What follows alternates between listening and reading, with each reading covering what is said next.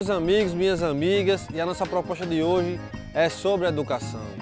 Conforme vocês estão vendo, nós estamos aqui na rua José Nóbrega Barbosa e aqui nesse terreno, neste terreno, consta em Brasília, no Ministério da Educação, como uma escola.